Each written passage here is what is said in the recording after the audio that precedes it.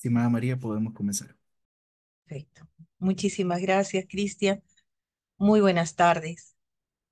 Nos reúne el día de hoy la red RPU, a quien agradezco a doctor Carlos Garatea, al doctor Martín Carrillo y, y a ti, Cristian, por este espacio importante que nos unes en esta tercera semana académica de la red RPU con 27 universidades unidas con el fin común de dar lo mejor de nosotros en el desarrollo de las profesiones. En este caso, estamos en esta mesa 4 que, cuyo título dice qué y cómo enseñar la carrera de Derecho.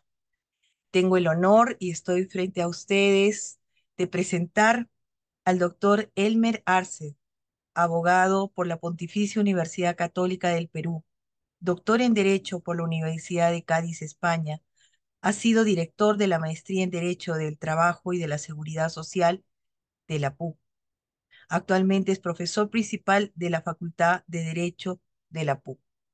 Igualmente, permíteme también presentar al doctor Carlos Vázquez Boyer, doctor en Derecho, doctor en Gestión Pública en la Universidad Nacional de Trujillo, exdecano de la Facultad de Derecho y Ciencias Políticas de la Universidad Trujillo, Nacional de Trujillo, docente principal, titular en los cursos de Derecho Penal y Procesal Penal. Actualmente es rector de nuestra universidad maravillosa que tuve la suerte de conocerla hace muy poco tiempo, Universidad Nacional de Trujillo. Igualmente, permítame también presentar, y es un honor presentar al doctor Jorge Luis Cáceres Arce, doctor en Derecho por la Universidad Católica de Santa María. Es docente de asignaturas de Derecho Constitucional en la Facultad de Ciencias Histórico-Jurídicas y Políticas.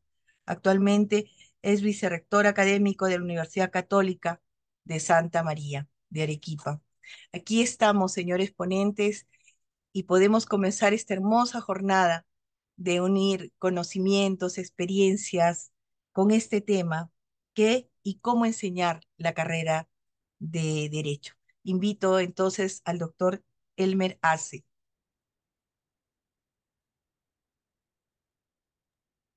Muchísimas gracias, María Pilar. Eh, agradecer a la red peruana de, de, universidades la, la, invitación y, por supuesto, agradecer también por, por participar de este excelente panel juntamente con, figuras del, derecho, rectores además de, universidades, eh, y básicamente del derecho penal y del, derecho constitucional. ¿no? Yo, quisiera eh, plantear el, tema eh, en dos partes. La, primera tiene que ver con, el tema de, qué enseñar en una facultad de derecho, ¿no? y la segunda, obviamente, cómo llevar adelante la, enseñanza del, derecho. Y, y, en un momento como el actual, ¿no? Además, donde, donde eh, a diferencia de, lo que teníamos hace algunas décadas atrás, eh, ahora hay muchísima información y creo que a veces esa, esa intensidad de información termina también eh, creando algunas maneras un caos, ¿no? Así, así como el, médico tiene como objeto de estudio el, cuerpo humano, eh, así como el físico, la naturaleza, creo que el, objeto del abogado siempre ha sido un, espacio de discusión. ¿Qué, estudia el, abogado? ¿Qué estudia el, estudiante de derecho? ¿Y qué enseña el profesor? Miren, eh, yo también he reflexionado sobre ese tema y y creo que el objeto de, estudio del, derecho es la norma, ¿no?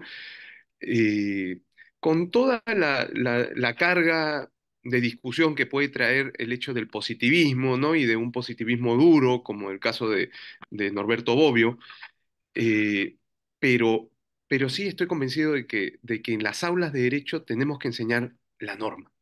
Ahora, hay distintas formas de, de enfocar ese, ese, objeto de estudio. ¿no?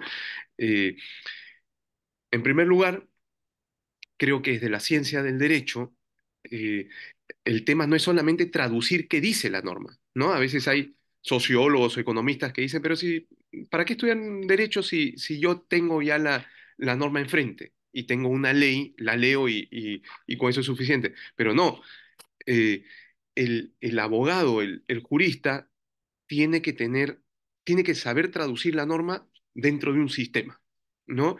Y creo que ese es el, el aporte de la carrera. Eh, y no debemos perderlo de, de- vista. A veces las teorías críticas del derecho nos terminan sacando del, del- del objeto, ¿no? de, de- estudio, pero, pero para mí el objeto de estudio del derecho es la norma y, y- y- y cómo aprender a leer la norma desde un sistema jurídico, desde un ordenamiento, ¿no? Que es lo que normalmente se ha conocido con el nombre dogmática, ¿no? Yo no quiero, no quiero entrar a, a- a- complejizar el, el- el esquema, lo único que sí quisiera dejar claro es que eh, el abogado no solamente traduce normas, sino que aprende a leer la norma dentro de un sistema jurídico. Y mientras mejor entendamos el sistema jurídico, eh, vamos a tener una comprensión del derecho mucho más acorde a lo que se quiere, ¿no? En función de, lo- de los objetivos, de los valores y de los principios que, que busque la, la- la sociedad. Ahora, ¿por qué es difícil leer la norma desde un sistema? Porque ustedes saben que el sistema tiene una estructura y tiene modos de organización. Entonces el sistema tiene una estructura jerárquica, tiene, sistema, tiene eh, concepto de competencias, ¿no? Tiene este, coherencia y tiene también plenitud. Entonces el, el sistema jurídico es lo que tenemos que enseñar. Y, y por eso a veces es difícil enseñar el derecho desde compartimentos estancos, ¿no? O sea, yo no puedo enseñarlo solamente desde el derecho penal, no puedo enseñarlo solamente desde el derecho constitucional, desde el derecho laboral, sino tengo que necesariamente ir a las normas de mayor jerarquía, las que organizan el sistema, y, y- ahí el derecho constitucional es un, es un aporte fundamental para la comprensión del abogado eh, que quiere comprender la norma en un sistema jurídico. Y miren, no solamente es el ordenamiento interno o las normas internas, sino también los tratados internacionales, ¿no? Entonces, eh, comprender lo que quiere decir la norma en un sistema jurídico creo que es eh, eh, humildemente y modestamente el objeto de, de lo que deberíamos enseñar en una facultad de, de derecho, ¿no? Ahora, esto implica que el sistema tiene sus propias reglas, ¿no? Como decía, por ejemplo, Herbert Hart,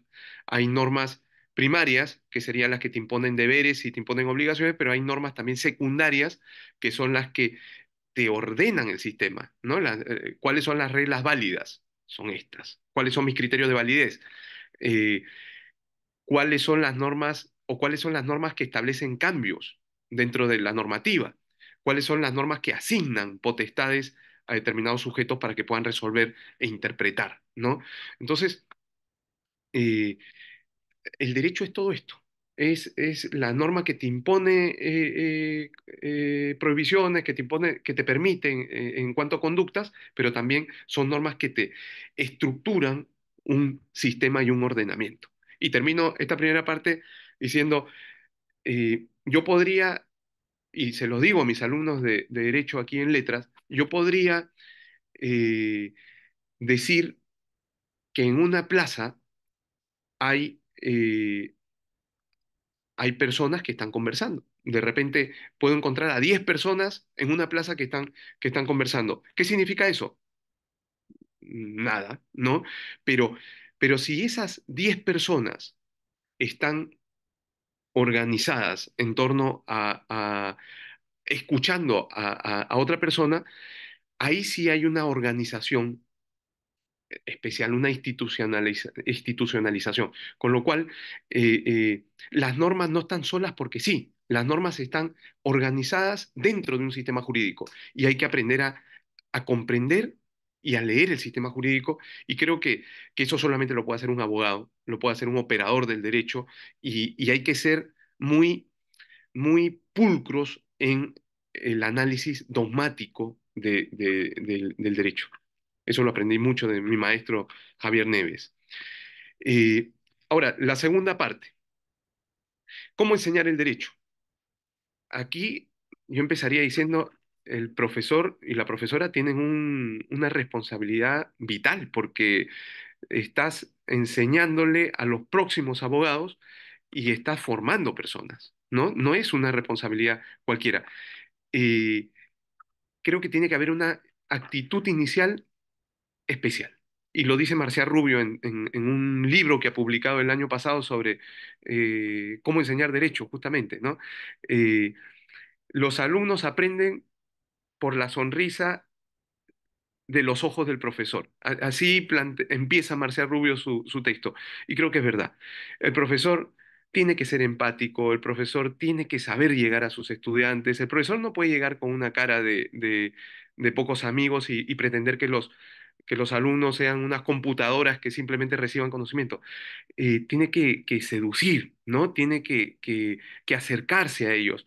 Y, y y eso es todo un aprendizaje. Los profesores no creo que se hagan de la noche a la mañana, los profesores se van formando, ¿no? Entonces, primero, actitud inicial de profesor.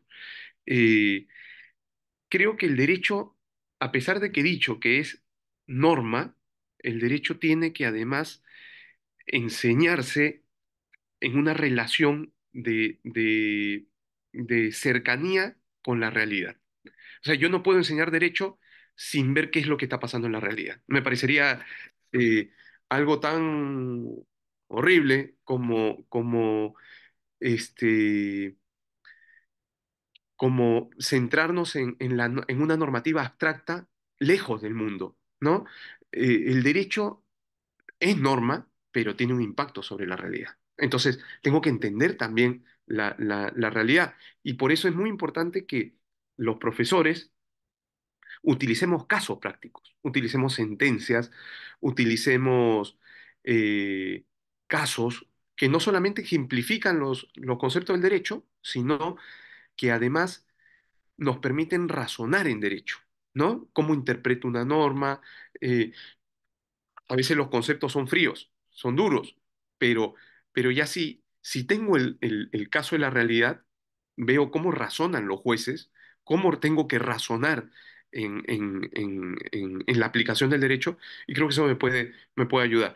Mm, Si bien antes probablemente se admitía que estudiar derecho era estudiar las normas, hoy día estudiar derecho es estudiar normas y jurisprudencia, el derecho vivo, ¿no? Eh, Creo que también ayuda mucho las clínicas, las clínicas jurídicas. Eh, muchos de, las facultades de derecho hoy en día ya tienen sus clínicas jurídicas. Es un método de, de enseñanza a partir de, de aprendizajes acompañados de, profesores, de profesoras. eh, que les permiten a los estudiantes hacer derecho. O sea, por ejemplo, llevan casos, este, eh, hacen consultas, van y dictan conferencias a, personas que, que no estudian derecho. Entonces, todo eso es un aprendizaje del derecho, ¿no? Entonces, las clínicas jurídicas son importantes, las prácticas profesionales, si es que pudiéramos cambiar la normativa eh, de las modalidades formativas, la ley 28.518, eh, creo que podrían tener un mejor efecto las prácticas preprofesionales y las prácticas profesionales para nuestros estudiantes. Pero aún así, es un modo de aprender derecho también, ¿no? En la realidad, en una situación real de, de, de, de- aprendizaje. Eh, en tercer lugar, o sea, lo primero era la actitud, la actitud inicial del profesor. eh, en segundo lugar, esa relación con, el, con, con la realidad. En tercer lugar, coincido con Marcial Rubio también que hay que enseñar conceptos. El derecho crea conceptos, ¿no? Eh, eh, estamos llenos de conceptos. La persona jurídica es un concepto, ¿no? Creado por el derecho. El despido es un concepto creado por el derecho.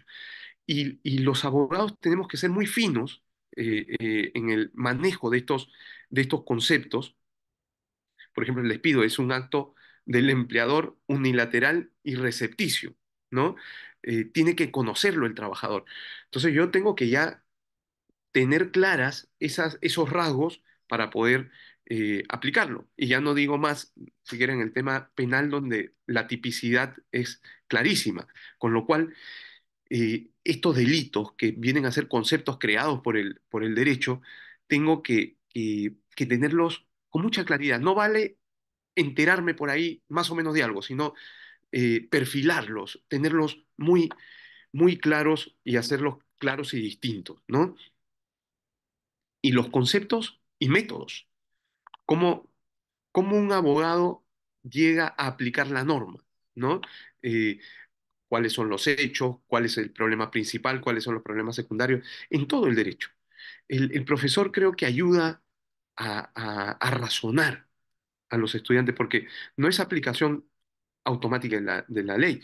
Si ustedes me dijeran que el derecho es aplicación automática de la ley, mejor contratemos computadoras o robots, ¿no?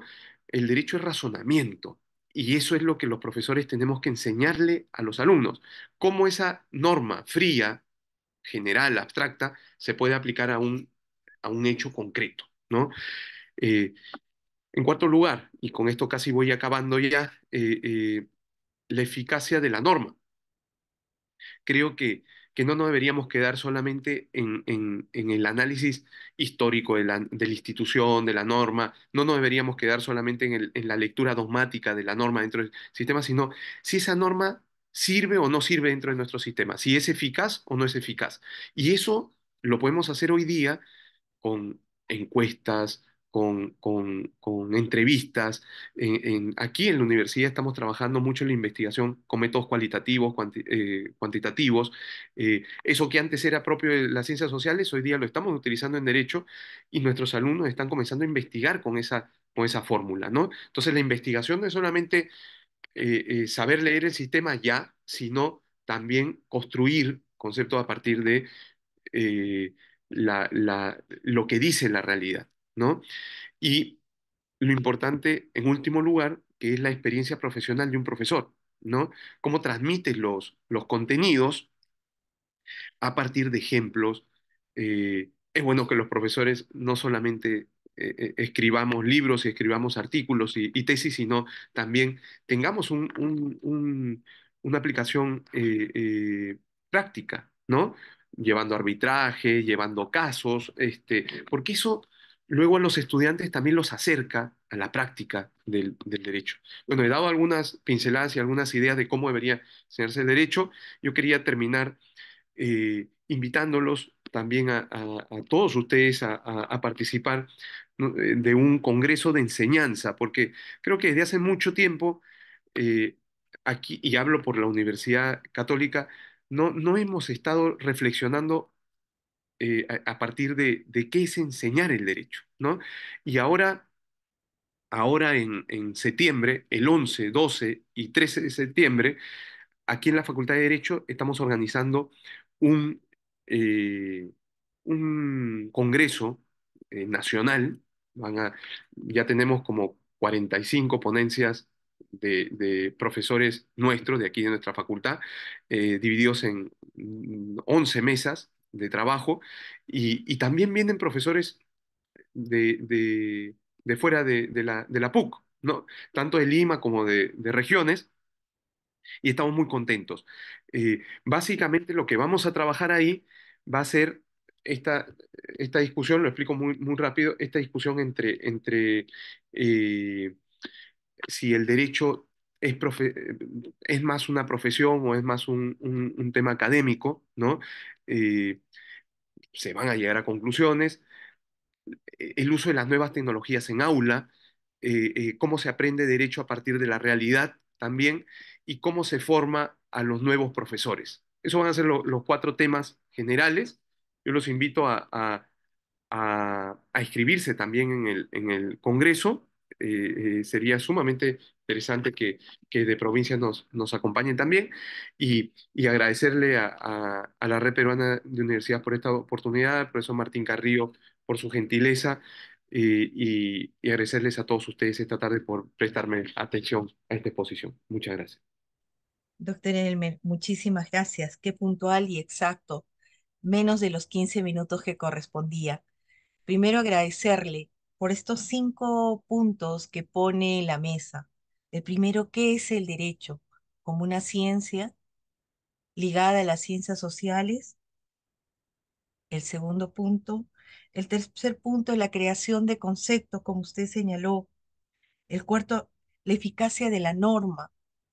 El quinto punto, la experiencia profesional de los docentes frente a enseñar derecho, ¿no? Eh, qué importante es ver que ustedes como profesionales del derecho puedan llegar que no solamente se cumple una norma, ¿no? Entonces, este, sigamos hablando y discutiendo en esta oportunidad gracias a la RPU. Muchísimas gracias, doctor Elmer, por el gran aporte que está haciendo en estos momentos a nuestros colegas e invitados que estamos aquí. Eh, invito entonces al doctor Carlos Vázquez Boyer, doctor de Derecho y, doctor en Gestión Pública en la Universidad Nacional de Trujillo. Es decano de la Facultad de Derecho y Ciencias Políticas de la Universidad Nacional de Trujillo, docente principal, eh, cuyos cursos son Derecho Penal, Procesal y actualmente rector de la Universidad Nacional de Trujillo. Lo invito, doctor Carlos. Muchas gracias. Bien, eh, eh, en principio mi agradecimiento especial, por cierto, a la invitación de la RPU, un espacio muy importante que tienen las universidades del país para poder ver muchos aspectos o asuntos técnicos referidos a la universidad. Gracias, muchas gracias por esa invitación.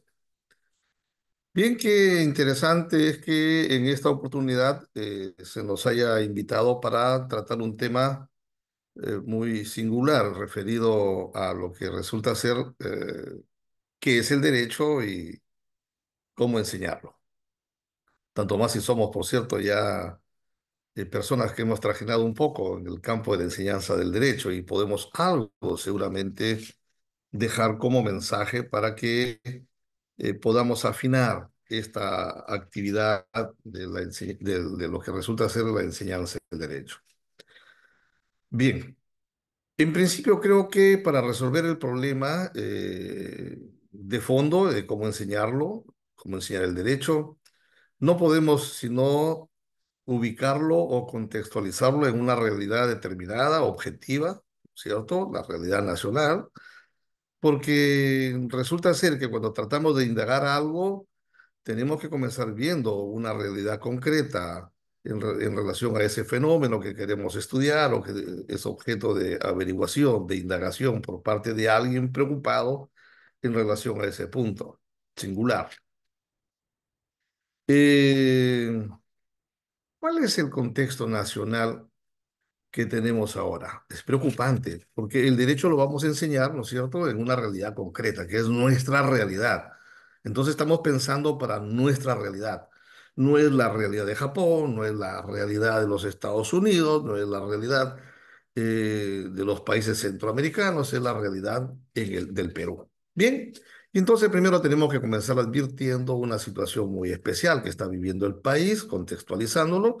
Tenemos, por ejemplo, eh, un tremendo y exagerado y preocupante clima de inseguridad ciudadana. La gente eh, no solamente se va dejando impactar por los hechos que podemos verificar nosotros mismos en términos de o vivenciarlos como consecuencia de la actividad delictiva, por ejemplo, ¿Cuántos de nosotros, los que estamos conectados en esta oportunidad, no hemos sido de alguna manera objeto o víctimas de un acto delictivo, verdad? Eh, acá en, en, Trujillo, lugar de mi residencia, dos veces hemos sido extorsionados. Hubo una época, ¿verdad? unos seis u ocho años atrás, en que la, las panaderías, los zapateritos, remendones, las ferreterías, las grandes empresas, todo el mundo era extorsionado, por ejemplo.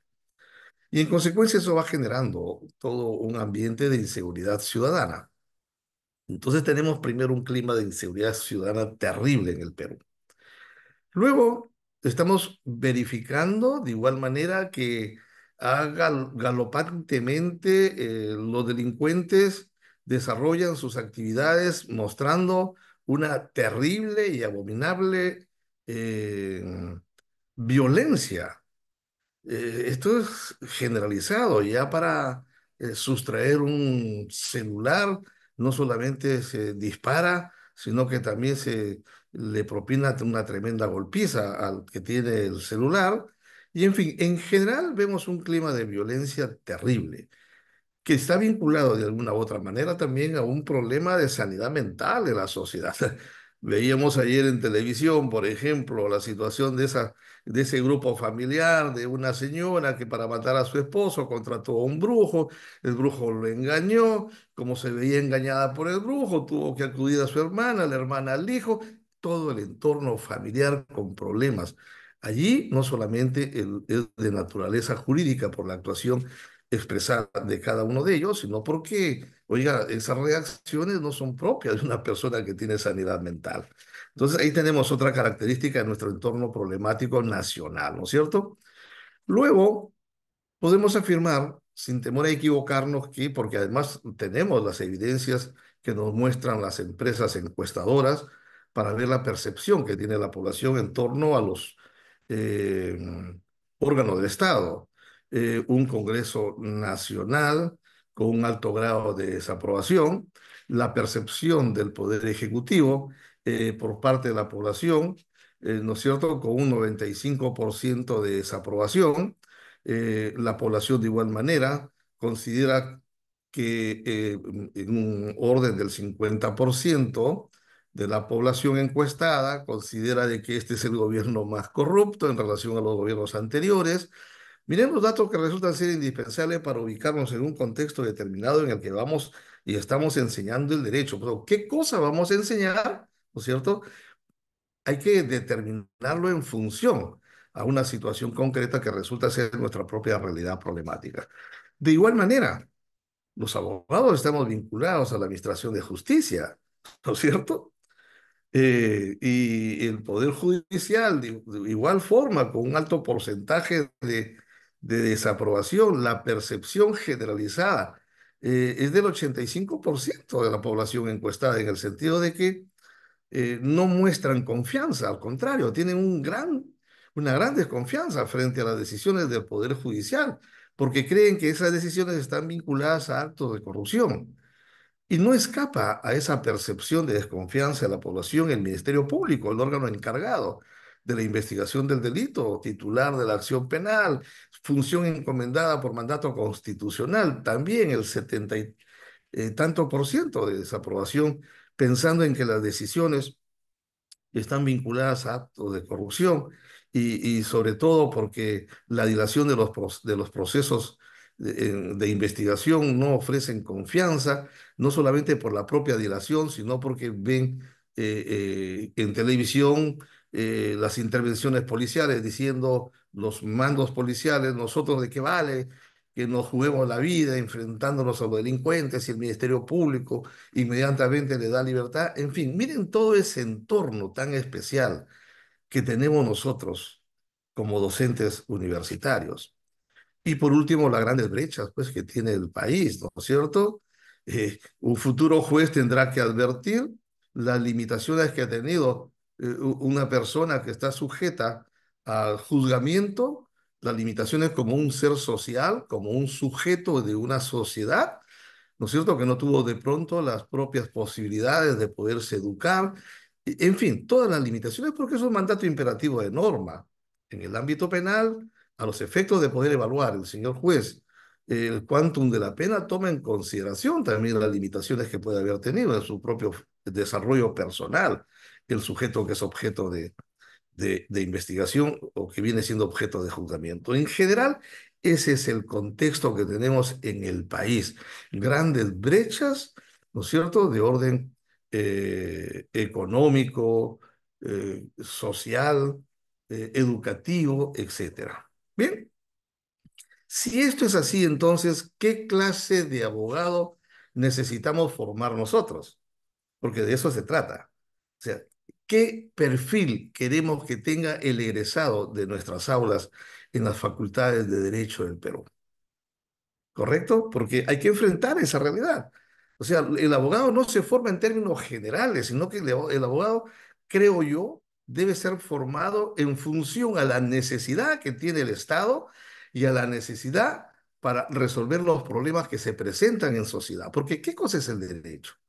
Coincido plenamente con mi colega en el sentido que el objeto del derecho no es otra cosa más que la norma. ¿No es cierto? Y entonces, El objeto de estudio del derecho es la norma, pero la norma no surge de la imaginación maravillosa de un legislador, tanto más y ahora no tenemos muy buenos legisladores que nos permiten predecir eh, que las normas van a ser eh, adecuadas para resolver los problemas, porque nos están generando muchísimos problemas. No, la norma surge precisamente de ese orden objetivo y real que se tiene, o de pronto de ese desorden real y objetivo que se tiene. Lo que hace el legislador no es más que recoger esa problemática, evaluarla, ¿no es cierto? Eh, ordenarla, sistematizarla para que se elabore una norma que resulta siendo derecho y a través de esa norma regular la vida en sociedad. Entonces, esa es la función de la norma. Y eso es el derecho en concreto, el objeto de estudio, la norma. Bien, en consecuencia, ¿cuál es el perfil del abogado? Primero, hay que considerar que debe ser un conocedor del sistema normativo nacional. Coincido plenamente con el colega que me antecedió. En el sentido de que hay que conocer el sistema normativo. Yo siempre digo a los jóvenes estudiantes, y discúlpenme la expresión, el abogado contemporáneo no puede ser boca de la ley. Nunca debió ser boca de la ley. Pero claro, los mecanismos y los métodos de enseñanza del derecho de hace unos tantos años atrás no es el mismo que el día de hoy.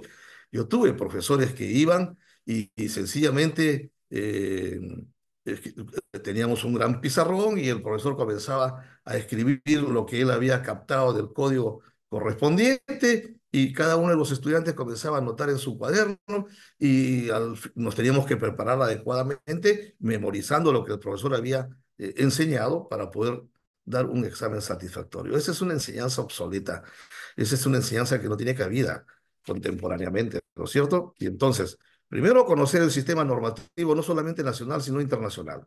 No podemos ser boca de la ley, hay que entender y comprender la norma.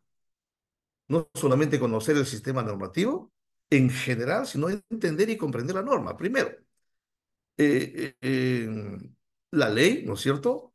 En el marco nacional, teniendo como regla más importante o ley fundamental la propia Constitución, lo que no ve el legislador y que se advierte en la aplicación de la norma en el sentido que afecta a derechos fundamentales, para ello está la propia Constitución, y si a través de la Constitución se afectan eh, del, del, precepto constitucional y su aplicación, se afectan derechos sustanciales o fundamentales de la persona, para eso están los convenios internacionales. Entonces, la interpretación o el proceso de constitucionalización y de convencionalidad del derecho está en marcha. Es imparable. Ley, constitución y convención. Además, eso está consagrado normativamente. El convenio de Viena sobre el derecho a los tratados no hace sino establecer con rigurosidad que los estados están obligados, si la norma nacional contradice la norma convencional, a aplicar la norma convencional. Y ahí tenemos un ejemplo muy concreto. Por ejemplo, ¿qué pasa cuando la Constitución te dice que las resoluciones del Jurado Nacional de Elecciones son irrecurribles, son inimpugnables? Algo dijo el Jurado Nacional de Elecciones, pero imagínense que lo que ha dicho el Jurado Nacional de Elecciones está afectando un derecho. Por ejemplo, el derecho a postular a la presidencia de la República. Quiero postular, pero me dicen que no. Y lo dijo el Jurado Nacional de Elecciones. ¿No es cierto? Entonces, yo puedo acudir al Poder Judicial buscando que se modifique el criterio establecido por el Poder, eh, por el Jurado Nacional de Elecciones. Entonces, eh, es norma dentro de un marco más amplio, ley, constitución y convencionalidad. Y entender y comprender, en consecuencia, lo que el legislador quiere decir. Porque, como ha dicho mi colega también, es eh, muy fácil el pensamiento de aquellos profanos en, en materia jurídica o del derecho, cuando dicen, pero ¿para qué voy a estudiar derecho civil si todo está en el Código Civil o en el Código Procesal Civil? ¿Para qué estudiar derecho penal si está en los códigos correspondientes? Todo está escrito. ¿No es así? ¿No es cierto? todos sabemos, los que estamos vinculados, que la interpretación de la norma eh, es, eh, eh, tiene varias aristas, ¿no es cierto? Yo puedo desentrañar lo que el legislador quiso decir, no lo, no lo dice textualmente la literalidad de la norma, pero yo desentraño a través de mis estudios y mi, mi análisis respecto a lo que el legislador quiso. Eh, en fin, las varias clases de interpretación que tenemos. En, en, principio, entonces, conocedor del sistema normativo, una persona capaz de, de entender y comprender, de interpretar la, la ley, eh, que tenga este egresado de nuestras facultades un espíritu analítico, crítico y propositivo. El egresado de la Facultad de Derecho y en general esto es válido para todas las escuelas profesionales que tenemos en el Perú. Hay que ser una persona crítica, analítica y propositiva, ¿no es cierto? Eh, frente a un hecho que tiene connotación jurídica. Tiene que ser el experto, eh, de otro lado, eh, que sea una persona solidaria, por cierto, que sea empática, que sea capaz de poderse comunicar de manera muy fluida y convincente y capaz de comunicar, no solamente comunicarse en términos de comprenderlo, entender lo que se trata de, la, eh, de las expresiones en la interactuación, sino que sea una persona que sea a su vez capaz de hacerse entender, ¿no es cierto? Porque claro, estamos vinculados a sujetos decisores, eh, tanto en el ámbito administrativo como en el ámbito judicial. Y en consecuencia tenemos que convencer, pero no vamos a convencer solo por la fluidez en la expresión de nuestras ideas, sino convencer con fundamento no solamente en la propia ley, no sino, sino como fundamentos doctrinarios, dogmáticos. Ese egresado, de igual, de igual manera, de nuestras facultades, tiene que ser una persona muy ética, responsable, respetuoso de los derechos de su patrocinado y de los derechos de igual manera de la persona contra quien se está litigando. Los derechos no pueden ser privilegiados para solamente nuestros patrocinados, sino que tienen una línea de horizontalidad que tenemos que reconocer y hay que ser respetuoso. La eticidad, ¿no es cierto?, te da ese plus de respeto a los derechos de las personas y en consecuencia de nuestros patrocinados, respetando sus derechos, siendo objetivo, siendo fiel a su pretensión, pero al mismo tiempo a tus propias convicciones profesionales. Oiga, señor abogado, ¿cuántas veces? Yo me dedico al derecho penal. Eh, desde que terminé mi carrera, no solamente le enseñé el derecho penal, sino también eh, litigué. ¿Cuántas veces no hemos tenido litigantes que nos preguntan, ¿y cuántos días sale mi patrocinado? Mira, tu patrocinado, tu familiar, perdón, no va a salir por lo menos medio año, un año o dos años. O mira, tu, patro, tu familiar va a ser condenado, va a salir en varios años. Esos familiares de nuestros patrocinados a quienes hemos tenido que decirles esas respuestas, nos abandonaban. Pero, pero así es. ¿Consecuencia de qué? De ser objetivos. Bien. ¿Y cómo enseñar en consecuencia el derecho? Mira, la malla curricular. Primero, fortaleciendo el plan de estudio de los estudios generales para darle qué? Una mirada humana, un espíritu solidario a los futuros abogados. De otro lado, capacitar a la docencia. Tenemos que capacitarla porque no es suficiente la experiencia profesional que pueda tener el docente. Tiene que tener competencias pedagógicas y habilidades didácticas. Y los abogados en general en las, las, escuelas de derecho no tenemos la formación pedagógica, no nos hemos formado para ser profesores.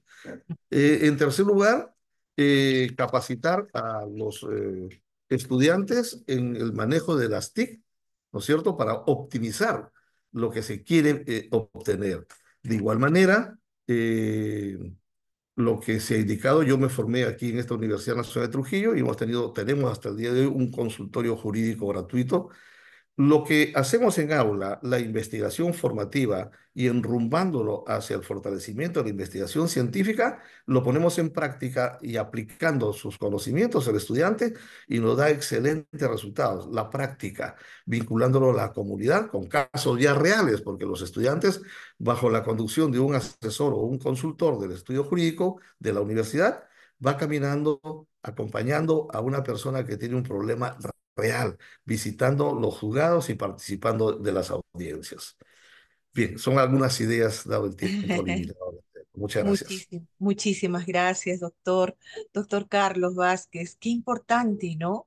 Hay una complementariedad de escucharlo al doctor Elmer Arcer y a usted en relación a este contexto que estamos viviendo.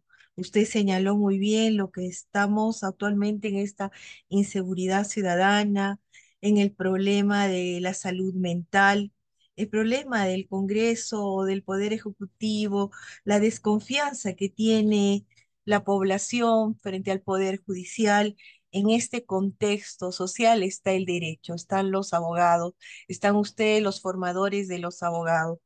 Frente a eso, poder decirnos que justo coincide con el doctor Elmer en relación a que el, se tiene que tener la comprensión y el entendimiento de la norma, con un carácter que los estudiantes tengan un carácter analítico, crítico, pro, propositivo, pero especialmente que bueno escucharlo, solidario, empático, capaz de entender, de comprender y enseñar también a la población que recurrimos a ustedes y especialmente con ética, ¿no?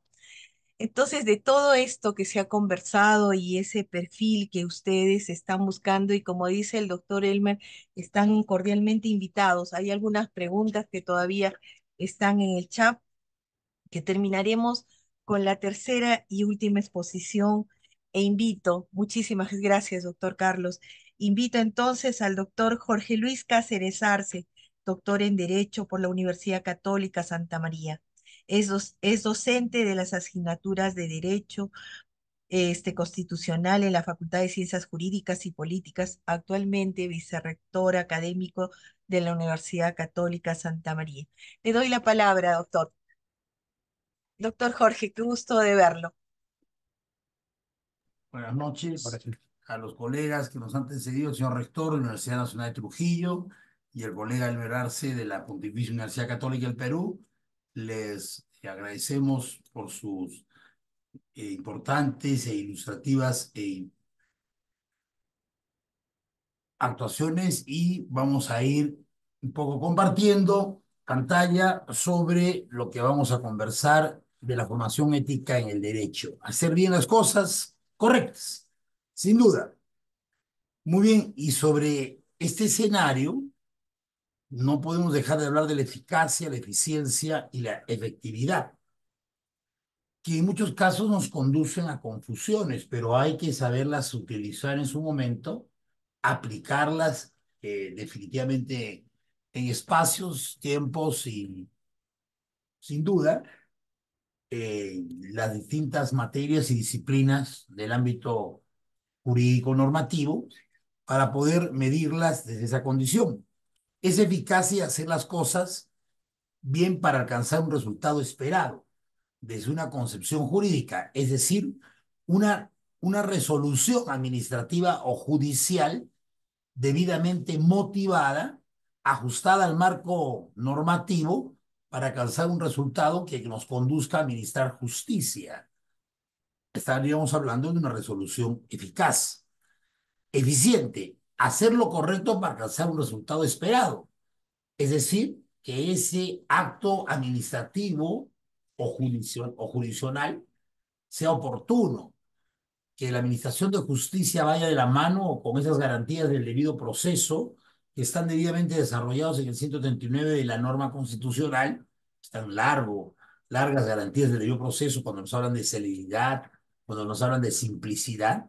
Bueno, esa eficiencia es en ese sentido, de esa óptica. Es decir, lo correcto es dentro, por supuesto, de lo moral, de lo ético, de lo normativo, sin duda, sin duda, sin duda, pero alcanzando un resultado esperado. Es decir, alcanzando un resultado que uno pretende hacer respetar un derecho, una garantía, un patrimonio, o en su defecto, o en su defecto, lo que uno, a través de un proceso penal, civil, laboral, tributario, contencioso administrativo, el que corresponda, dentro de la corrección, dentro de lo ético, dentro de lo valorativo, dentro de lo teológico, sin pretender conseguir el respeto a una norma, el respeto a tu derecho o garantizar una libertad, pero sin irrumpir con lo correcto.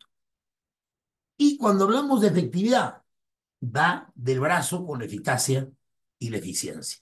Sin duda, no vas a ser eficaz. Un delincuente es eficaz, pero inmoralmente, para él, pero no eficiente y mucho menos efectivo. Bueno, hoy día lamentablemente nuestro país vive y está eh, latigado, fustigado, golpeado por, la, por los actos de corrupción. Y eso nos conduce a entender que vivimos en una sociedad debilitada, una sociedad dolida, una sociedad que se encuentra en la UCI, producto de la desvalorización, de la desvalorización.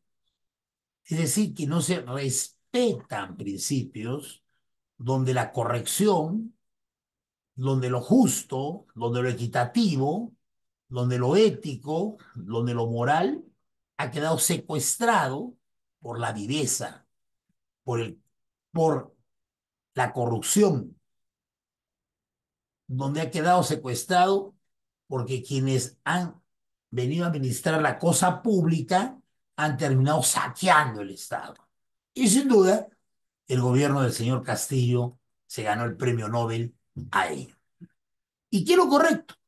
Es proceder sin ocasionar daño a nadie ni a nada. Eso decía un gran profesor, Sandel, de la Universidad de Harvard, bajo la inspiración kantiana. El abogado es el defensor de los derechos individuales, es el constructor del orden jurídico y el guardián de la justicia, el gran Eduardo Conturi. Defensor de los derechos individuales. Bueno, acá hay que saber distinguir, como muy bien lo define un gran maestro del constitucionalismo ibérico, don Francisco Moral, don Francisco Fernández Segado, quien con un buen criterio hace una distinción entre lo que podemos conocer y entender lo que son los derechos constitucionales de los derechos fundamentales. Los fundamentales están debidamente enumerados, debidamente redactados, incursos dentro de las paredes del texto constitucional. los constitucionales tienen que estar en la carta, parten de ella, pero no se agotan con ella. El artículo tercero de la Carta Constitucional nos dice claramente que los derechos no numerados en el presente capítulo no excluyen a los demás que la Constitución reconoce y que están fundados en la dignidad de la persona humana, en la forma de gobierno, etcétera, etcétera, etcétera. Ahí está. Son los derechos que han sido generados producto del desarrollo doctrinario, de la jurisprudencia, de la convencionalidad, el derecho al amor, el derecho a la eficacia, el derecho al dolor, el derecho al sufrimiento, el derecho a la alegría, el derecho a la pasión, no están enumerados, no están debidamente positivizados, pero son derechos que han sido generados producto del ejercicio de la jurisprudencia, de la convencionalidad y también de la doctrina constitucional. Cuando dice con el gran, el, el gran eh, habla, el abogado es el defensor de esos derechos, hablemos de los constitucionales y los fundamentales. Y es el constructor del orden jurídico, que hay que distinguir, muy bien lo distinguen, pues por supuesto, los académicos cuando hablan del orden y del sistema. El orden jurídico es el que está construido, como lo dijo muy bien el gran Kelsen al inicio del siglo pasado, el mentor del positivismo, el mentor del control concentrado y el primer presidente del Tribunal Constitucional austriaco que se instaló en mayo del año 18. ¿Perfecto? Ahí está, la estructura keynesiana, sin duda, que con una buena percepción la podemos entender con normas administrativas, normas legales y normas constitucionales, cuando hablamos del orden jurídico, con lo que dice muy bien el maestro García Belaunde, que acaba de cumplir ocho de, muy buenas décadas como gran jurista y gran constitucionalista, que habla de las normas puras y las normas impuras. Las puras que nacen en, en, los, en, los, en los entes legislativos y las impuras que, como decía Chirino Soto, don Enrique, que son ejemplos de decretos legislativos que son producto de la, de la delegación de facultades, pero que no nacen en el órgano legislativo, nacen por acuerdo del Consejo de Ministros, producto de delegación de facultades, o los decretos de urgencia, que tampoco nacen en el ente legislativo, sino en el ente ejecutivo. Y el guardián de la justicia, es decir, es el celoso custodio, es el que guarece a este gran derecho, valor y principio que es la justicia, como también la dignidad. Abrimos nuestro texto constitucional del 93 que recoge la tendencia eminentemente emancipadora de el respeto incólume a dos derechos fundamentales que se incorporan con la Carta Social demócrata del 79, que es la dignidad y la identidad, recogidas del sistema europeo, fundamentalmente de la ley fundamental de Bonn, de la década del 40. Los alemanes muy bien entendieron que después de la posguerra tenían que hacer respetar un derecho que había sido enervado, evidentemente un derecho quebrantado y debidamente latigado la dignidad del ser humano, la dignidad del ser humano. Y, si le, y le dan rango, estatus constitucional, y recién los peruanos le otorgamos ese lugar en el pedestal de un texto constitucional con la Carta del 79, 50 años después que los alemanes y los franceses. Bueno, y la identidad sin duda. Pero cuando les hablo de justicia, sin duda no podemos hablar de justicia donde esté ausente otros cuatro pilares. Si hablamos de justicia como principio, o como valor, o como derecho. Pero si hablamos como valor, requiere de cuatro principios fundamentales. No podemos hablar de justicia donde esté ausente la equidad, donde esté ausente la razonabilidad, la proporcionalidad y la legalidad. Sin duda, el mensaje de Eduardo Contur no ha pasado al olvido. Dentro de este contexto del quehacer profesional del letrado, antes y ahora, en lo económico, lo social y lo tecnológico. Bueno, sin, sin duda, ahí entran a tallar los derechos generacionales, no voy a ponerme a explicar hoy día porque no es el tema, pero cuando se enseña el derecho con pasión y con decisión y con decencia y con docencia, creo que hay que saberlos muy bien a los derechos clasificar, no categorizar, clasificar, no categorizar, no jerarquizar, sino ubicarlos dentro de las distintas especialidades, dentro de las distintas orientaciones y tendencias ideológicas, sin duda.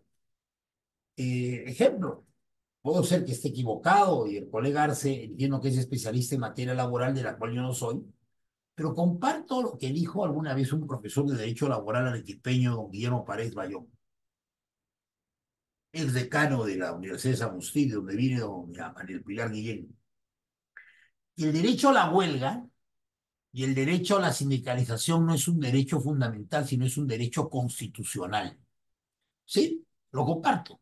Lo digo por qué porque yo no creo que dignifique al trabajador sindicalizarse o no, porque hay centenares de trabajadores peruanos como los magistrados, como los diplomáticos, como los mismos de las Fuerzas Armadas y Fuerzas Policiales, etcétera, etcétera, etcétera, que no pueden estar, no se pueden sindicalizar porque hay norma expresa que los prohíbe, que se los restringe, y eso no los hace más o menos trabajadores.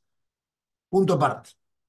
Y aquí traigo a colación estos principios imprescindibles de Bangalore, de esta ciudad de la India, donde se reunieron en la década del 90 y luego de la década del 2000 una serie de funcionarios para trabajar seis principios imprescindibles, ¿correcto? ¿Sí?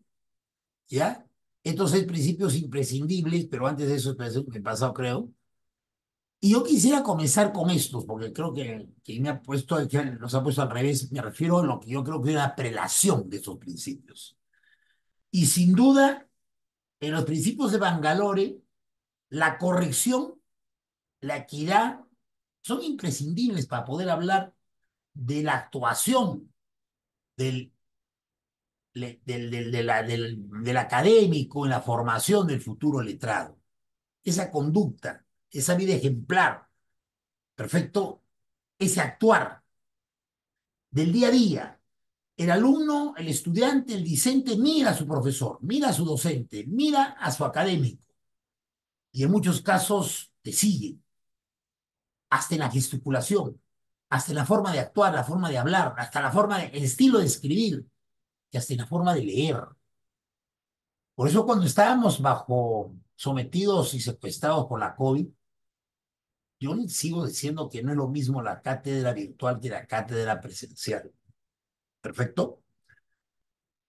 Porque no es lo mismo estar con el alumno al frente con 30 o 40 jóvenes, mirando los ojos, vivenciando con ellos, sentir su calor, verlos al final de la, de la sesión académica, lectiva, escuchar sus, sus, eh, eh, tomar en cuenta sus eh, preguntas, sus interrogantes, sus dudas, frente a frente y frente a una pantalla. Definitivamente la equidad, la competencia y la diligencia son imprescindibles en formar abogados y abogadas. Y nosotros creo que como académicos y abogados y letrados estamos en la imperiosa necesidad, en la imperiosa necesidad de formarlos en la corrección, en la integridad y inspirarlos a que esa formación se conduzca desde una concepción de competencia y diligencia, sin duda. Y por supuesto, por supuesto, sin, sin apartarse de exigir que un órgano estatal actúe con independencia, que ese magistrado resuelva con imparcialidad, pero imprescindible es la rectitud, la honestidad del magistrado, del juez, del funcionario público, del profesor en el aula, del profesor en el aula. Esa rectitud, esa probidad, esa honestidad académica, esa honestidad intelectual pues dejo ninguna razón le puedes decir al alumno, este artículo léanlo, es de mi autoría, cuando no es la tuya. O de exigirles más allá de lo racional. Alguna vez un colega en un grado, en la sustentación de un grado, les exigía a los estudiantes, al futuro abogado, que sepan más que él, yo era decano en ese entonces de mi facultad. Le dije que estaba totalmente equivocado, porque eso no era nada ético, a mi opinión. Que tenía que encaminarlo a que conozca, que aprenda, que, a que se capacite. Pero no le iba a decir, oiga, ¿tú quieres aprobar? Siempre y cuando sepas más que yo. Yo creo que fue una banalidad absurda e intolerante. Estos seis principios de Bangalore que no hay que dejarlos de tomar en cuenta en la formación deontológica, ética y moral y cognoscitiva de nuestros abogados y letrados en todos los rincones de la patria. Y los colegios de abogados están en la obligación institucional de, por supuesto, tomarlos en cuenta. En la Academia de la Magistratura se dicta esta asignatura, la he dictado ya cuatro, cuatro oportunidades. Creo que en los niveles de posgrado, en las maestrías, debe considerarse los contenidos de esta asignatura.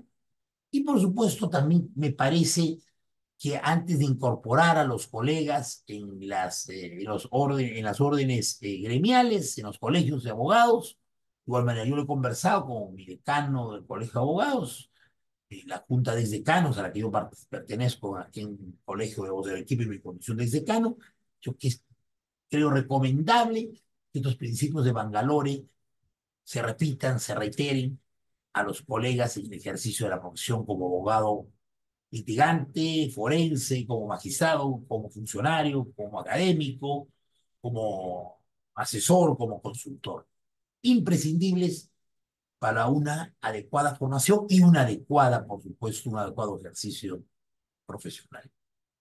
Y termino, termino con un mensaje de alguien que fue un gran historiador, pero también tuvo formación jurídica, porque también fue abogado, llegó a ser ministro de Educación durante el gobierno de Bustamante y Rivero, el gran Jorge Basá del Bloque.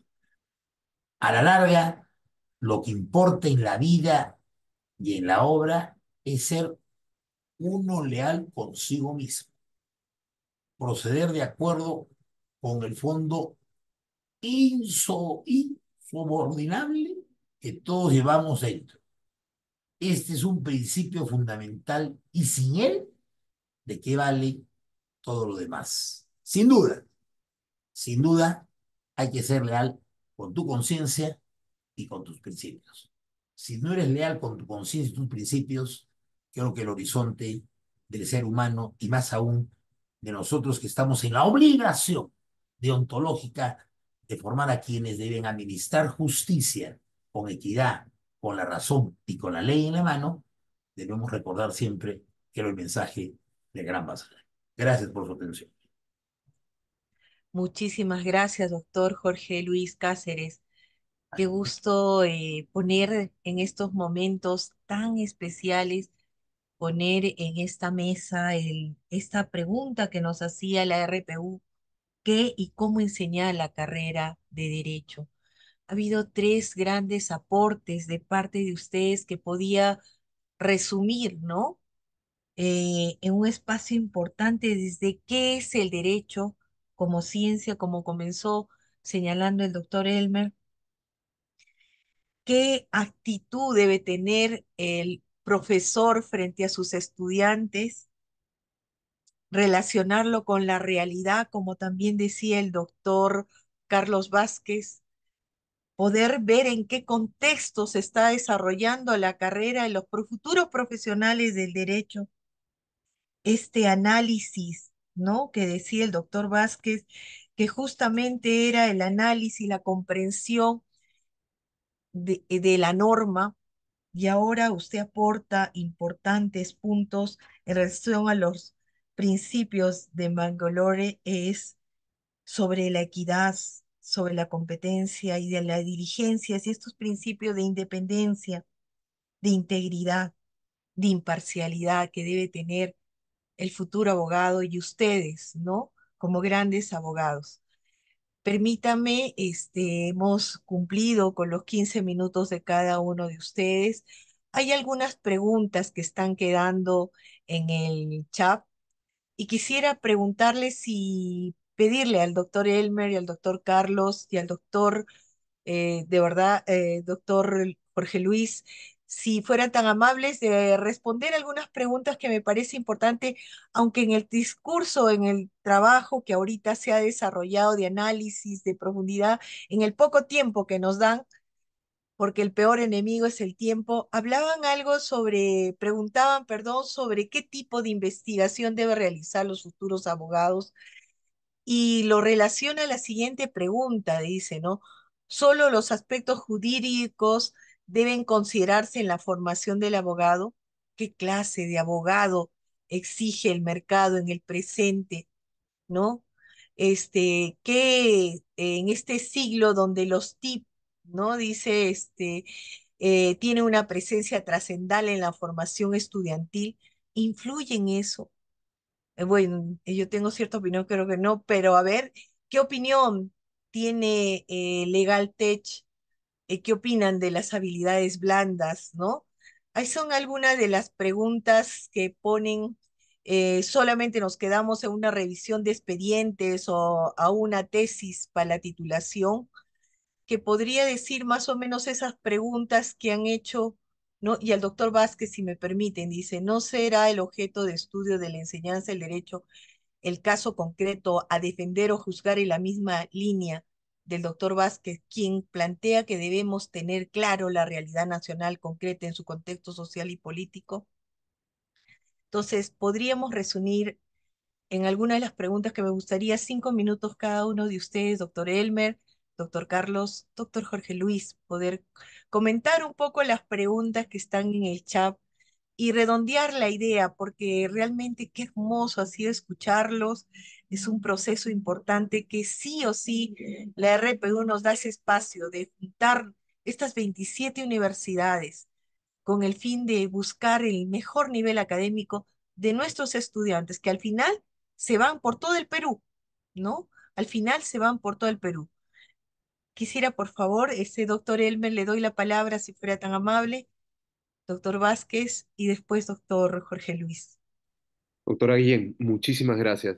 Eh, me parece, y yo quería resaltar también el hecho de lo importante que es sentarnos a conversar, ¿no? Y, escucharnos. Eh, eh, a veces venimos de distintas maneras de ver las cosas, en el mundo las cosas se pueden hacer de mil maneras, pero, pero cuando vamos conversando, consensuando, podemos llegar a, acuerdos, ¿no? Y, y, creo que el Perú necesita hoy día eso, en una sociedad tan polarizada como la que estamos viviendo, el derecho es un es, es salvataje, es un arma de, de, de democracia, ¿no? Y, y hay que sabernos entender dentro del consenso, eh, coincido en que, en que a veces defender la ley tiene ese, ese, esa ambigüedad de que, de que pueden haber unos delincuentes haciendo la ley y, y, tenemos que los operadores someternos a, a, a, estas personas, pero, pero en realidad nos, lo que nos sometemos es al bien común.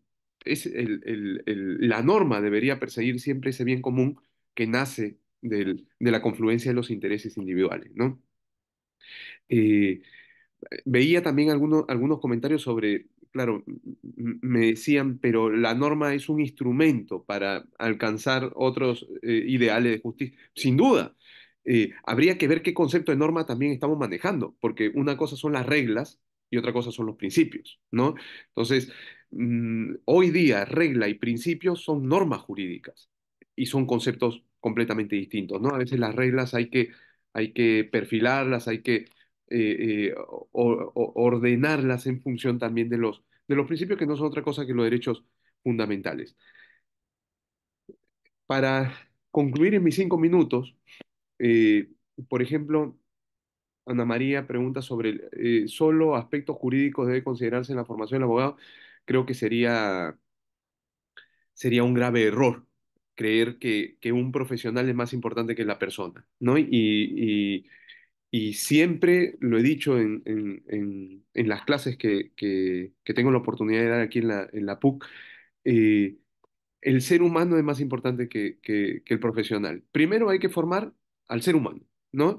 Y, y, y, el ser humano sin resentimientos, porque muchas veces hasta un abogado o una abogada resentida o resentido puede generar un montón de, de daños, ¿no? O sea, la, la norma es neutral quien hace las cosas bien o hace las cosas mal es el abogado es el, o, la abogada.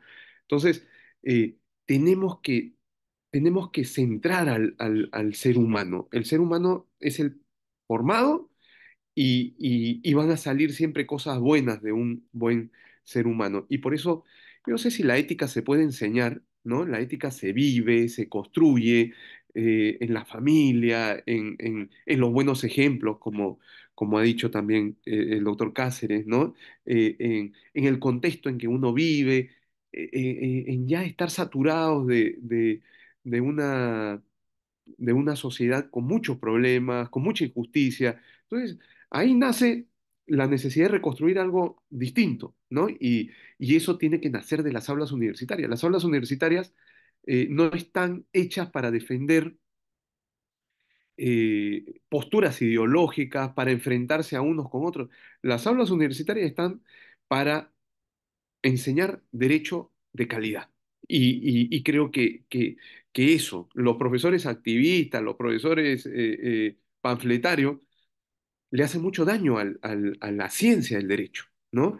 Es verdad que, que a veces queremos que la norma se mire de una manera, que se mire de la otra, eh, y todos sabemos aquí en derecho que, que siempre pueden haber varias miradas y varias formas de entender por la interpretación y la ambigüedad de las palabras, pero hay cosas que, por ejemplo, el debido proceso tiene que respetarse, y tiene que respetarse para, para alguien que nos gusta y para alguien que no nos gusta, ¿no? Entonces, ahí tiene que haber cierta Imparcialidad. Eh, ¿qué caso, qué clase de abogado exige el mercado en el presente siglo en la tecnología de la información, de la comunicación? Eh, ¿tienen presencia trascendental en, la formación estudiantil? Sin duda. O sea, eh, hoy día, por ejemplo, ya aquí en la universidad estamos empezando a formar grupos de, de reflexión y de investigación sobre la inteligencia artificial eh, eso que nos puede traer un montón de peligros para, para los propios derechos constitucionales, porque, por ejemplo, en materia laboral, la- las plataformas digitales de reparto, o sea, de Rappi, ¿no? Eh, eh, a los, a los, eh, a sus trabajadores, que, que obviamente hay ahí toda una discusión de si son trabajadores o no, pero yo creo que son trabajadores, a veces los puedes dejar con encargos o sin encargos porque haces un algoritmo en en la programación y de pronto el algoritmo puede tener sesgos discriminatorios, pero no te das cuenta. Entonces, ya los nuevos abogados tienen que ir conociendo esos elementos, la transparencia que tiene que haber en las nuevas tecnologías, para no ofender, para no, no, no ir en contra de derechos fundamentales, ¿no? Y las habilidades blandas hoy en día son fundamentales. O sea, un, un, eh, no estamos hablando solamente de formar académicos y de formar eh, eh, juristas que enseñen en las universidades, sino de los abogados que van a ir a trabajar a empresas, a estudios, a, a, a- a- ONGs, eh, al, al sector público. Y esos abogados necesitan saber negociar, necesitan saber llegar a veces a, a a mejores soluciones que la propia ley te impone.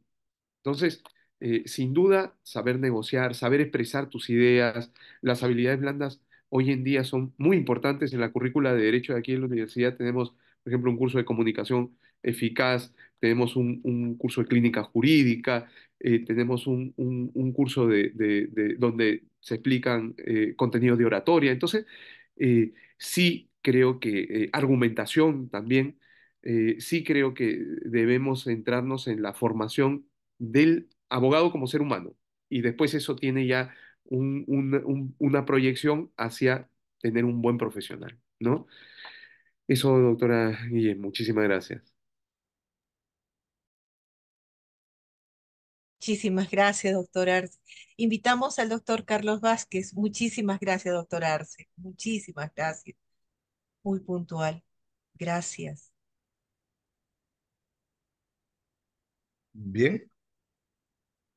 Eh, para concluir estos cinco minutos, eh, vi algunas preguntas referidas a qué investigar, ¿no? Eh, bien, depende de, eh, en los cursos que se estén dictando en la malla y que estén insertados en la malla curricular o el plan de estudios. Por ejemplo, si se trata de, y hasta la propia inserción de los cursos debe estar en manos de los gestores, los que tienen una visión especial de cómo se debe formar eh, al futuro abogado. Por, por ejemplo, aquí hemos tenido un debate hace pocos días. Yo planteaba que eh, se inserte en el plan de estudio de estudios generales eh, el curso de análisis crítico de la realidad nacional. Y otro sector planteaba que debería ser análisis filosófico de la realidad nacional. Entonces, la propia denominación del curso es una especie de, de, de, de línea de avanzada en el sentido de que el estudiante apenas lea la denominación del curso, sepa o advierta eh, qué cosa es lo que se va a, a dictar en ese curso, ¿no es cierto? Mientras que uno lo pones, haces poner eh, los pies en tierra al estudiante porque es análisis crítico de la realidad nacional, en el otro lo lanzas a la estratosfera. Entonces, eh, ¿qué cosa investigar? Depende de los cursos, si son de estudios generales o son cursos que forman parte ya de, eh, son cursos específicos o los que ya tienen mucha carga de formación profesional. Pero cuando nos, los, son los problemas de la propia Administración de Justicia o con las que ésta se encuentra en la aplicación de la ley. Ejemplo, en el derecho procesal eh, hay un problema. Eh, termina, o perdón, empieza un juicio oral y por, supongamos porque ya son dos o tres veces los que un magistrado es cambiado como parte de un tribunal, ese juicio en el argot jurídico se llama quebrado. Es decir, se quiebra el juicio oral, lo que implica que se anula todo y tiene que volverse a convocar un nuevo juicio oral. Bien, ¿Qué pasa con todos los actos procesales desarrollados allí? Por ejemplo, imagínense que un testigo haya dicho, sí, la persona que realizó el delito eh, es de un metro ochenta de estatura, es de color, eh, eh, su cabello es color rubio, con textura delgada, da ciertas características fisonómicas del sujeto. Bien, pero toda esa información ya no tendría valor alguno, porque se declaró nulo el juicio por el motivo que antes anunció. Imaginemos que ese juicio vuelve a iniciarse. Y ese mismo testigo que dijo antes lo que acabo de referir, ahora dice algo totalmente diferente. Dice que su cabello era negro, que es decir, todas las características totalmente opuestas. Entonces, pregunta, ¿puedo confrontar la versión anterior de ese testigo con la versión que se está dando? La tendencia en la Administración de Justicia Penal es de que no es posible, porque todo lo que se declaró nulo o el juicio declarado nulo implica que todo, absolutamente todo lo realizado en el ámbito de él, queda también anulado. Es decir, nada existe. ¿Eso es verdad? Eso tendremos que admitirlo porque la mayoría de los jueces aplican así ese criterio.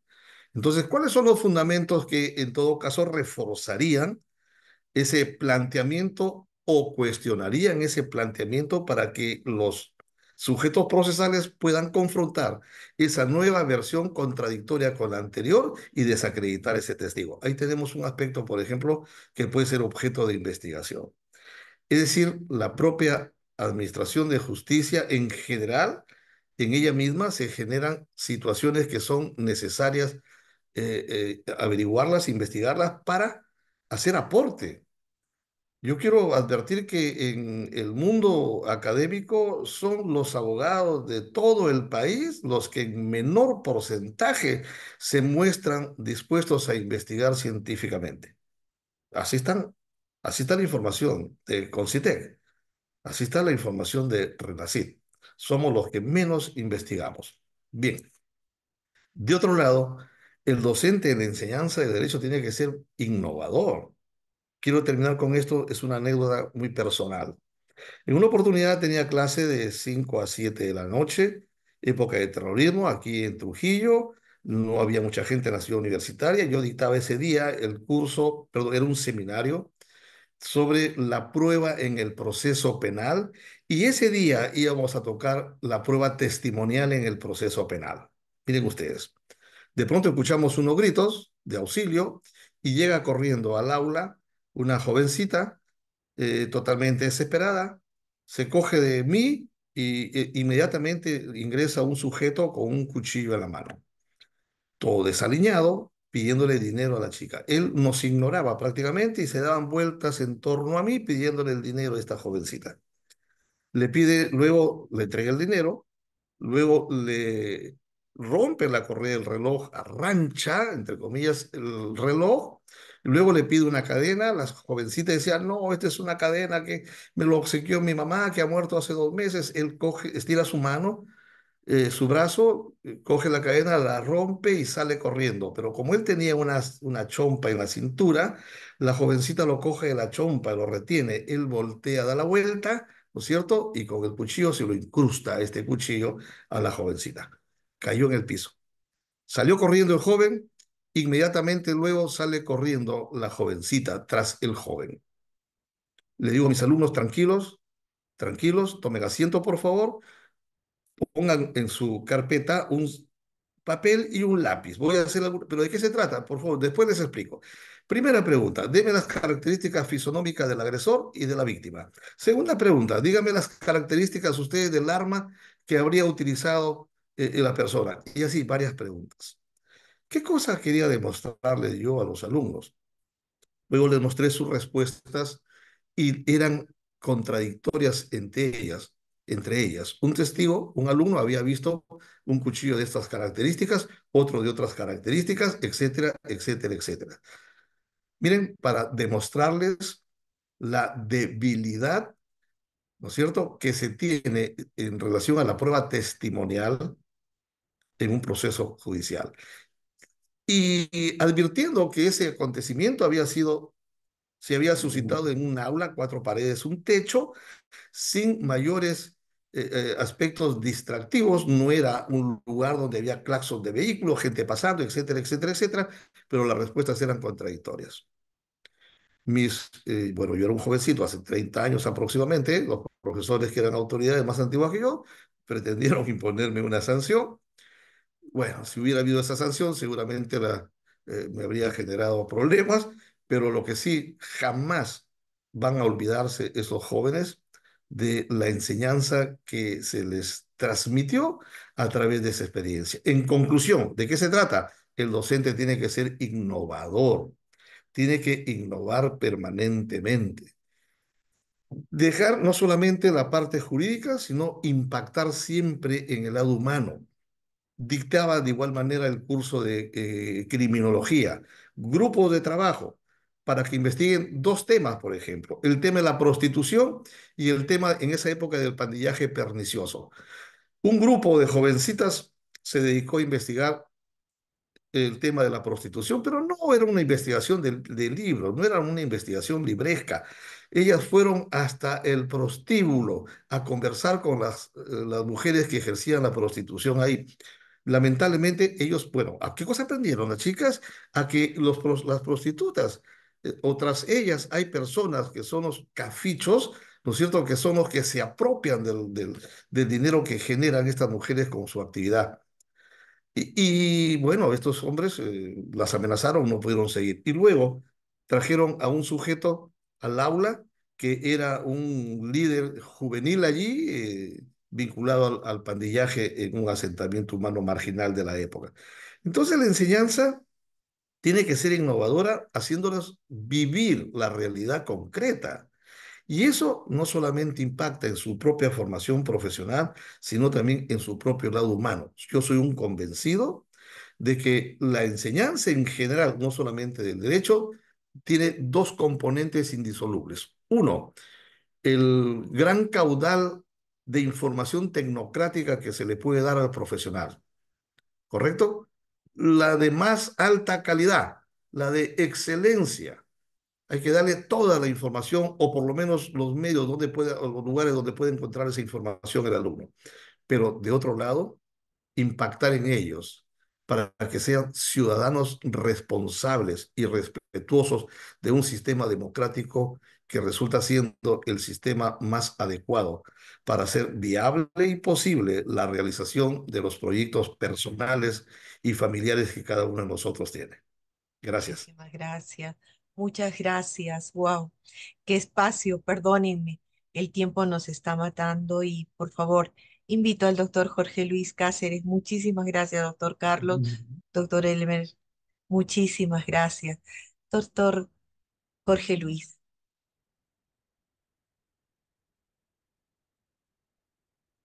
Eh, creo que Un segundito, un segundito, tengo problemas con la cámara. no se preocupe, doctor. Muchísimas gracias. Siempre. Qué espacio, ¿no, doctor Jorge? Qué espacio, doctor Jorge Luis. Qué importante es. Lo, continuamos entonces. Le damos esos cinco minutos. A ver, yo quisiera responder una pregunta concreta que dice, ¿qué debe comprender la formación, la educación jurídica. Yo vuelvo a reiterar, ahí, ahí va de la mano con las eh, habilidades blandas, los principios de Bangalore.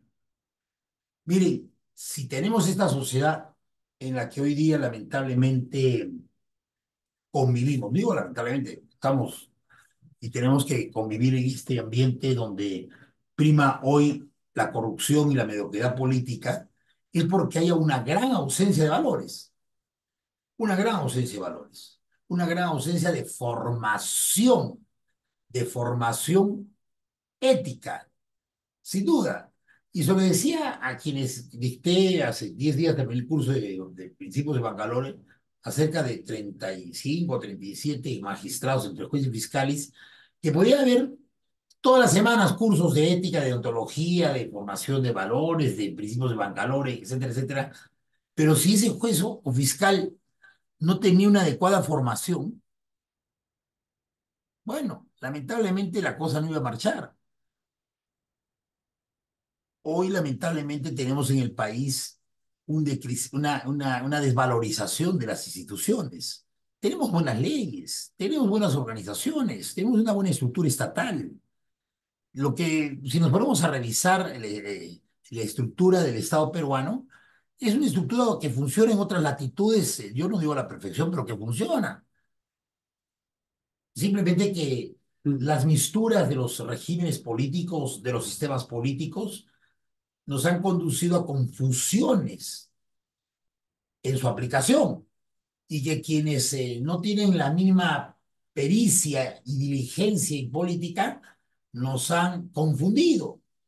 El señor Vizcarra, que tiene ya a cuestas 16 acusaciones constitucionales, fue el que nos llevó a un, una disolución del Congreso inconstitucional a finales de septiembre del año 19 y que ya va a vencer el plazo en la comisión de, en el plazo en el Congreso para que lo terminen acusando a él por haber eh, inconstitucionalmente disuelto el Congreso, porque son cinco años después de haberlo disuelto, ya vence ya en este en septiembre de este año el plazo, bueno, y que confunde y que sigue confundiendo entre cuestión de confianza, perfecto, y voto de confianza.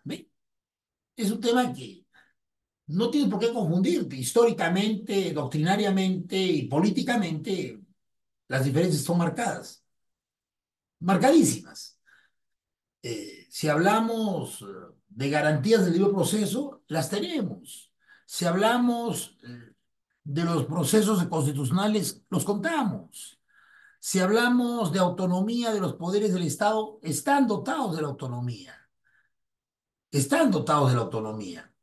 Hay que presionarse de la Junta Nacional de Justicia, que la señora Tello y su abogado, el señor Vázquez, no entienden que a los 75 años hay que irse.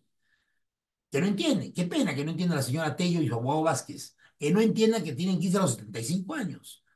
El cardenal Barreto se fue a los 80. La cuestión es clarísima. Y tanto daño le han hecho a la Junta Nacional de Justicia. ¿Ven? ¿Se dan cuenta? Ahí está la norma, ahí está su ley orgánica, ahí está la Constitución. Y sigue interponiendo amparo uno que los reponen, otros que no los reponen, que los vuelven a reponer. ¿A quién hacen daño? A la institucionalidad. Congresistas que aprueban leyes para beneficiarse. 150 leyes que se han dictado en este último periodo legislativo, de las cuales la mitad son por insistencia. Por insistencia, cuando la insistencia es una excepción, no es una regla. Claro, lo tienen arrinconado el gobierno, porque el gobierno no tiene bancada, y hay un cogobierno, pues un cogobierno entre el Ejecutivo y el Legislativo para terminar a julio del 26, no les queda más, ¿correcto? Tenemos normas, tenemos estructura, tenemos principios, tenemos valores, pero lamentablemente los valores y principios están siendo inaplicados desde una concepción de una deformación, de una desnaturalización, de una degeneración. Entonces, nosotros como académicos, como letrados, estamos, creo, en la obligación ética y deontológica de decirles en las aulas a los jóvenes universitarios que lean, que se culturicen, que se formen éticamente. La cultura es una aliada, una gran aliada de poder seguir abriendo horizontes y caminos para tener clases de abogados de primer nivel. Decía el gran Francisco Mostajo, un gran tribuno arequipeño, mientras el hombre es más culto, es más libre. Totalmente de acuerdo, totalmente de acuerdo. Y otra frase también célebre que da al corazón y a las venas, la del gran Jorge Polar y Vargas, en que acuñó una frase que la repiten en todos los rincones y las picanterías de Arequipa, no en vano será el un volcán. Esa no es la frase Polar, la que fue el, que fue ministro de Justicia de Pardo y Barreda y rector de San Agustín, que son más importantes las cimas morales que las alturas políticas. Eso hay que poner un cartel en la puerta del Congreso de la República. El 12 de julio decía el plazo para que se inscriban en todo, para que se inscriban en partidos políticos para que puedan postular. Según un informe del comercio de ayer o anteayer, si no me equivoco, la mitad de congresistas han inscribiéndose en todos los partidos para poder postular a la reelección o irse al Senado. ¿Sí? Estamos.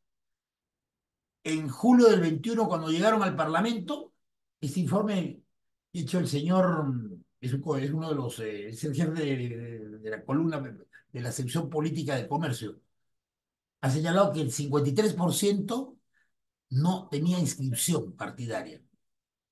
Imagínense, no tenía un pasado ideológico. Y que un mes antes de haber postulado, decía haberse inscrito para postular al Congreso, no estaban inscritos en ningún partido político los 130 que estamos hoy día. Más de la mitad, más de la mitad, un mes antes de haber postulado al Congreso, no tenían partido político conocido. Bueno, pero hay partidos políticos en el Perú.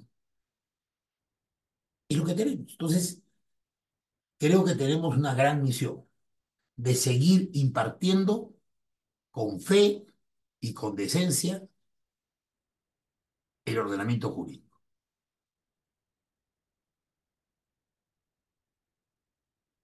Muchísimas gracias, doctor Jorge.